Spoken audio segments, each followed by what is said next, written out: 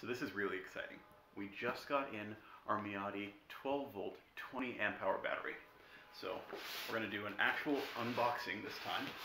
We can see exactly the packaging that came in.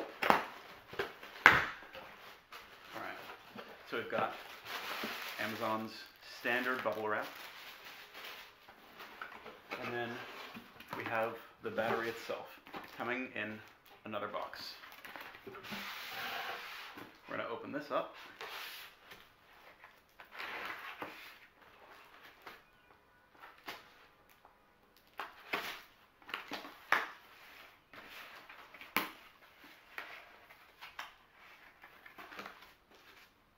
Look at this. We've got a lithium ion battery or lithium phosphate battery reliable solution provider, little mini manual.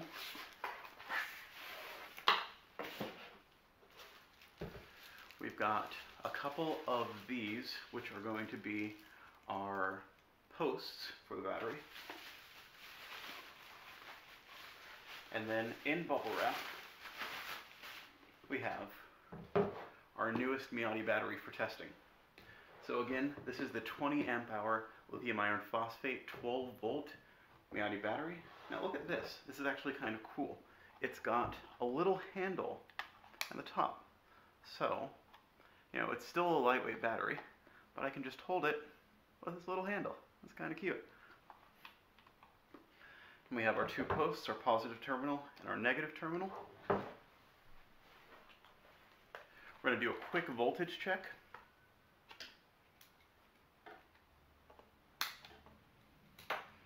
And see what we're getting.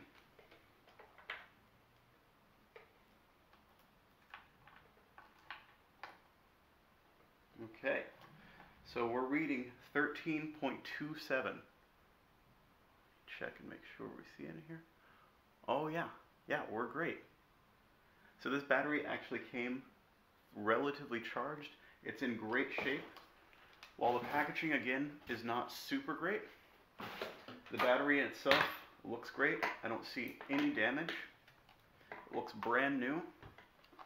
And, again, we've got this cute little handle. So, we're going to get started with some tests. We'll get it up to charge. We'll check the overvoltage cutoff. We'll do a full capacity test to make sure we can get all 20 amp hours out of the battery. We might cycle it a few times because I know some of these batteries like to be cycled a few times to really climb up to that full capacity. But we'll try and do a full capacity test and then we will see how many amps we can pull out of this battery with our favorite test, the cotton candy machine. So thanks for watching and let's move on to the first test. Okay, so now we're going to get started with our overvoltage disconnect testing. Basically, we've got this nice and charged. We're going to slowly up the amps going into the battery. Probably we'll go about 2 amps.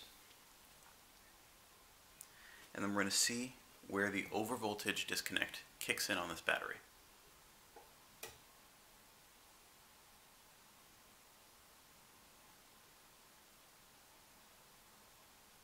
So after filming this segment, I checked the manual for this battery. It says do not charge over 14 volts. So that 14.3 cutoff is actually intentional. Alrighty, so let's start with my favorite test, the discharge test. We're going to see if we can pull over 1C out of this battery for a number of minutes, enough time to make cotton candy with our cotton candy machine here.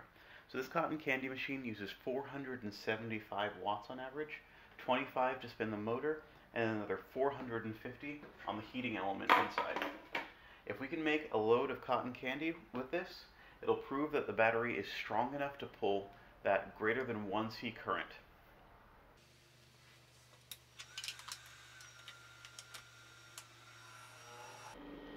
So we have life.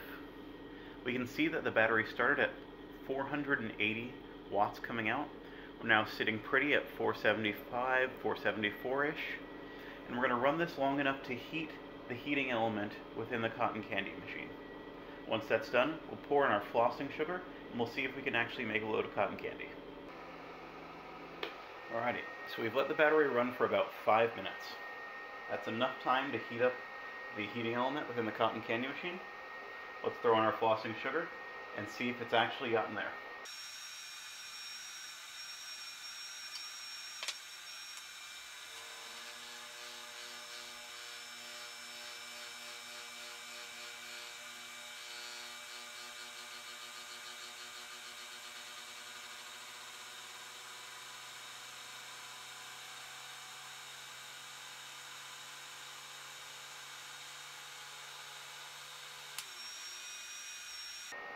Alrighty, I think it's pretty clear that this test is a success. We managed to pull 475 watt hours for about 6 minutes, long enough to make this piece of cotton candy.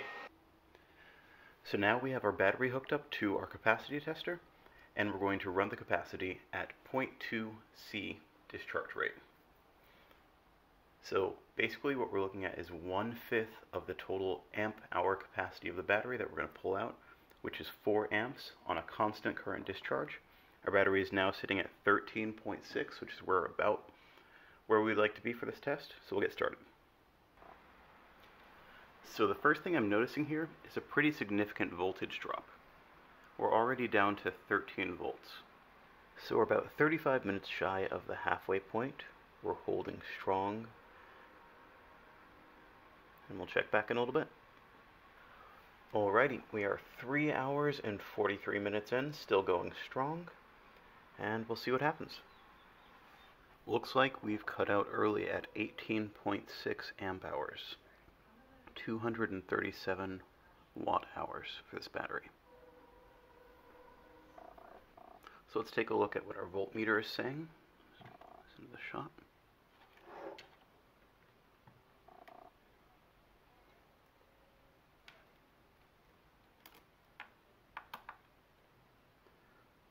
0.02.